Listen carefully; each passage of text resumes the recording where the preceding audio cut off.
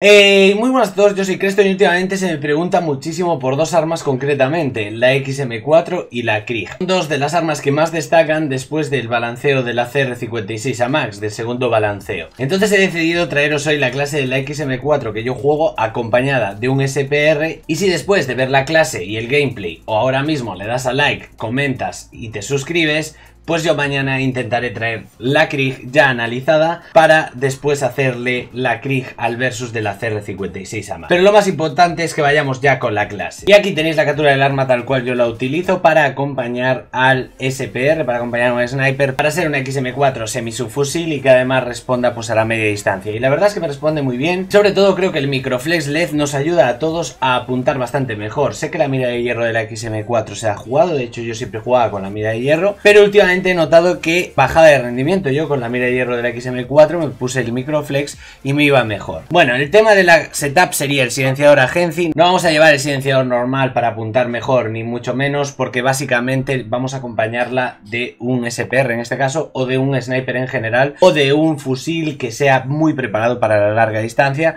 aunque recomiendo eso, que la acompañéis de un sniper. Al llevar el silenciador agency tenemos las ventajas de siempre, que no somos un punto rojo en el mapa, que somos difíciles de detectar, nos da mayor control del retroceso vertical, mayor velocidad de las balas, mayor alcance del daño efectivo y nos quita un poquito de velocidad de apuntado al andar y un poquito de velocidad.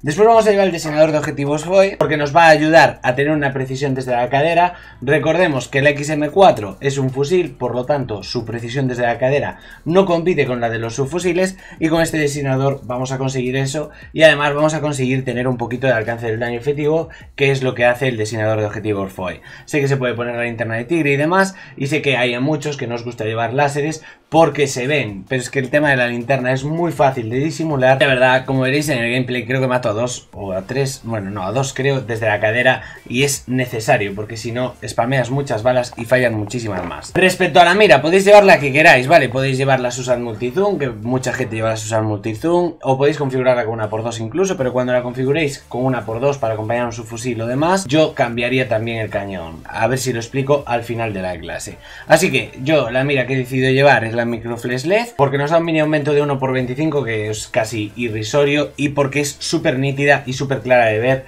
y ya la retícula que trae el punto rojo va muy bien, os lo recomiendo muchísimo. Después en cuanto a munición, vamos a llevar el cargador de 45 proyectiles en todos los casos salvo en cuartetos. Esa es mi opinión y os explico por qué. Lo he estado jugando en solos y en dúos y me he ido más que sobrado contra dos. Es decir, siempre que vaya contra dos voy a ir más que sobrado. Porque la XM4 he abatido de 10, de 12, de 13, incluso de 9 balas, contando en el vídeo, o sea, mirando los clips y viendo cuántas balas gasté, he abatido a gente con 9 balas, así que con 45 abatir a 2, o incluso 3, o abatir a 2 y rematar a 1, vas más que sobrado.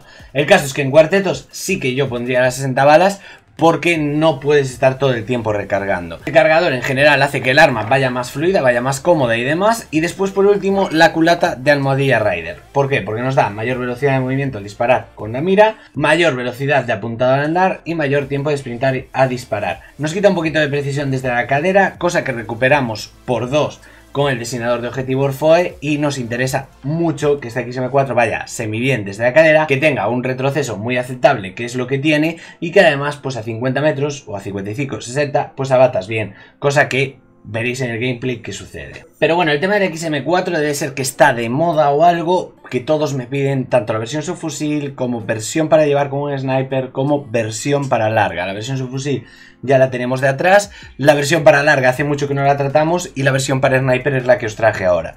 Así que también os dejo la captura de esta XM4 en la cual yo es la que os recomiendo para largas distancias. Silenciador agency, cañón de 55,3 de eliminación, porque este cañón no reduce el daño y a mí pues es el que mejor me va, tiene un buen alcance y demás. Sé que hay gente que lo juega con el Ranger porque aumenta el alcance y demás y tiene una buena velocidad de bala, pero yo en general siempre que he jugado este cañón he ido pues como mejor. El de fuerza operativa también tiene muy buen alcance, pero ahí sí que ya sufrimos un poquito del tema de daño. Pues en cuanto a mira, podéis llevar Vision Tech por 2, Asianas por 3 o Susat Multizoom, la que vosotros os guste, pero bueno, yo en este caso suelo llevarla con la Vision Tech por 2, aunque últimamente empiezo a probar la Susat Multizoom y empiezo a adaptarme mucho y a estar muy cómodo con la Susat Multizoom. Muy importante la empuñadura delantera de operador de campo porque es la empuñadura que más interviene con los retrocesos y con la que más cómodo vais a disparar. Tanto en mando como en teclado y ratón vais a notar una mejoría cuando llevéis esta empuñadura. Y después sí que hay que llevar 60 balas, el cuarto cargador, que es el que recarga más lento, pero con él apuntas más rápido. Yo recomiendo casi siempre este. ¿Por qué llevar las 60 balas? Porque la cadencia del XM4 es muy buena y porque a distancia sí que vas a tener que fallar balas ya solo por la inercia de que tu oponente va a estar moviéndose o tú moviéndote. Así que yo llevaría sí o sí las 60 balas. En cuanto al XM4 hay una verdad que es ya pues ahora mismo consagrada y es que es uno de los mejores fusiles del momento ahora mismo. Hay varios compitiendo, eh, la verdad que el meta está muy abierto y que si juegas fusiles de hace mucho tiempo puedes llegar a tener buenos resultados porque siguen funcionando, pero sí que hay armas que van un poquito por encima y entre ellas está la XM4. Es un arma que vais a disfrutar mucho, que como recuerda mucho a la M4, a la M16, bueno, es que lo es en sí, pues es un arma muy agradable, que gusta mucho de jugar, que vais a disfrutar y que además tiene la ventaja que la puedes llevar como su fusil, que la puedes llevar como un semi-subfusil para acompañar a un sniper o que la puedes llevar incluso para largas distancias y que vas a tener siempre un buen rendimiento por parte de esta arma que de verdad os está gustando mucho a todos. Así que ahora os voy a dejar con un pedazo de gameplay en el cual llevo XM4 y SPR. La XM4 hace dos o tres plays que son la hostia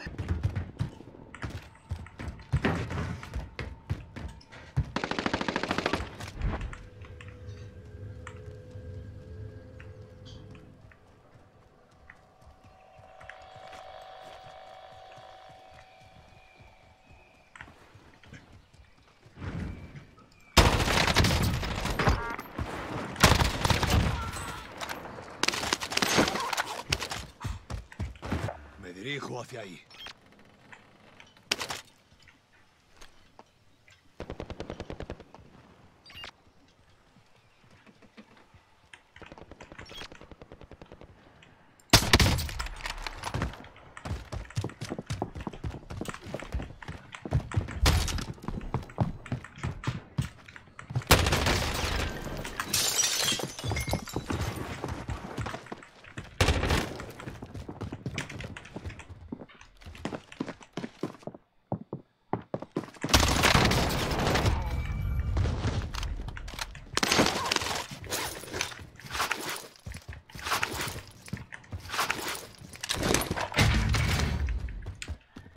Que siempre que interactúa la bala con un cristal pasan cosas raras.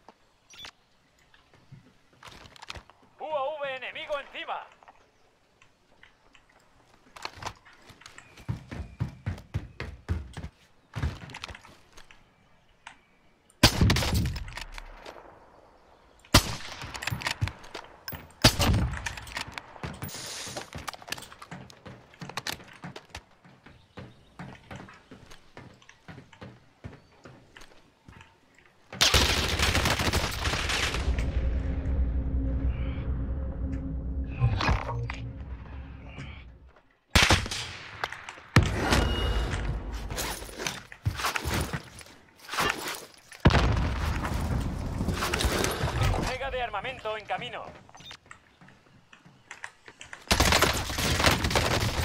Vas a la primera línea, pero si pierdes, ve aquí. Vuelves.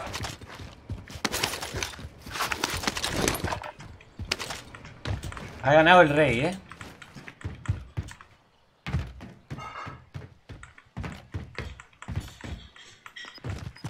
El rey que hace banderas. Ojito a esto, ¿eh?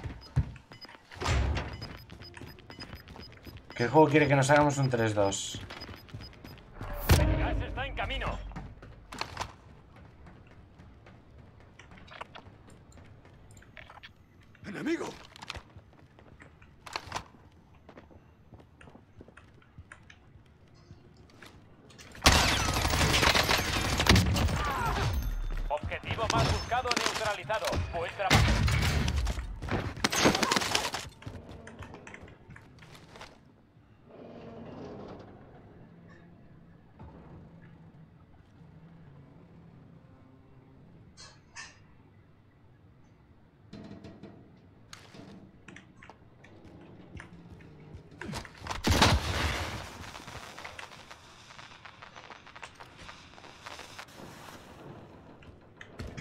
coge la mochila y no le da la termita, tío.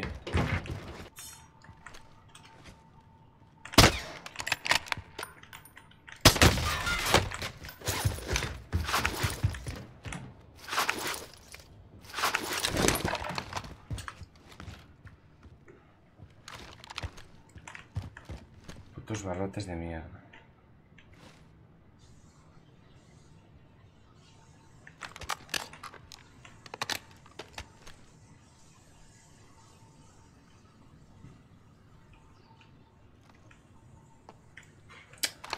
Se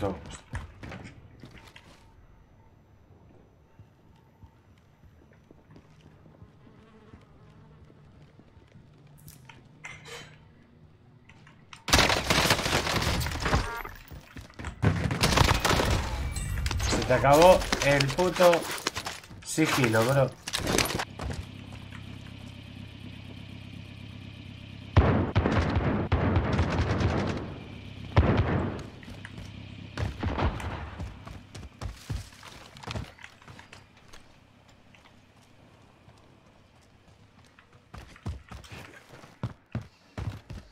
Escopetiña, tú.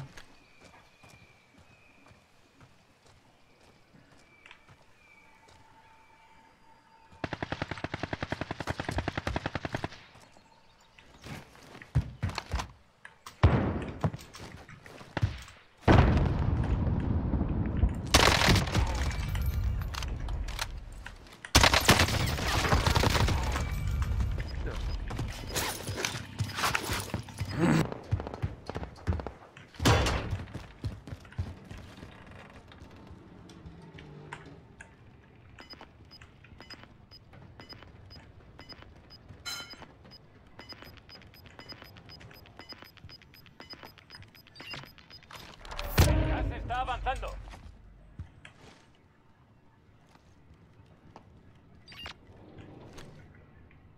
Me pongo en marcha. Adelante.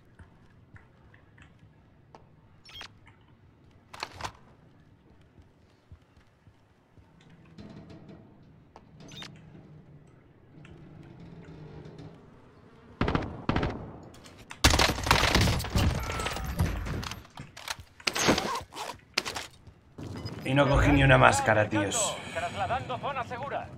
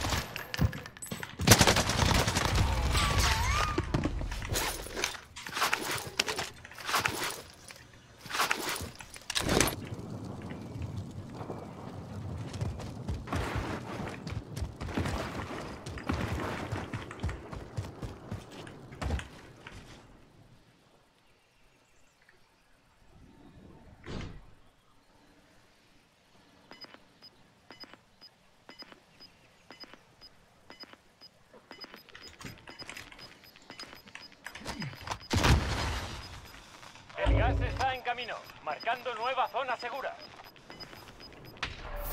Está avanzando.